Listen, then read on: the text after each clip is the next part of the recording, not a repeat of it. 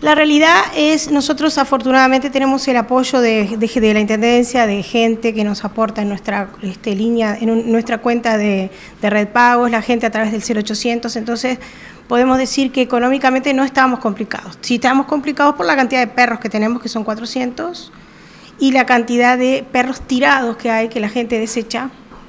Desechan cachorros, desechan perros viejos, perros enfermos donde desafortunadamente no podemos hacernos cargo de la totalidad de los perros que andan tirados, porque si no tendríamos mil perros y sin lugar donde tenerlos y sin capacidad económica de, alimentarlos y hacer los tratamientos que son muy costosos. ¿Hay un elevamiento de cuántos perros eh, eh, están de vagabundo? Ni idea, verdaderamente no tengo idea. Nosotros tenemos 400. ¿Y este tema de la y esto cómo puede este, incidir en todo esto?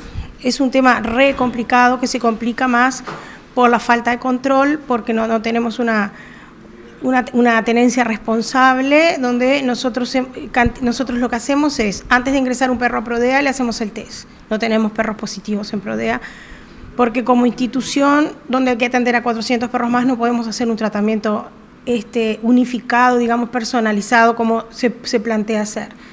Este, cantidad de perros que hemos recogido de la calle son positivos. Que eso, eh, cuando se hizo los test eh, por los domicilios nunca se tuvo en cuenta los perros callejeros, donde son los que llevan y traen muchas veces, eh, son los que pueden diseminar la enfermedad, ¿no? Ya sea que traigan, lleven mosquitas o no, y que ese es un tema re complicado. ¿Y la gente no proclive a llevar los perros a Prodea?